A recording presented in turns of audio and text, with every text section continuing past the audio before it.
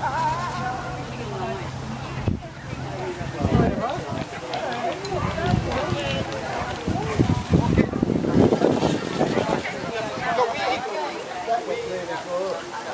Yeah, he's getting closer to, he's getting closer to how he runs.